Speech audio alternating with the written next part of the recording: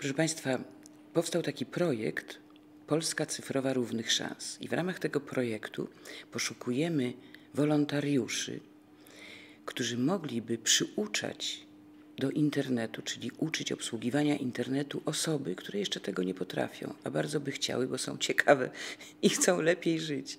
Także zgłaszajcie się. Czekamy na Was.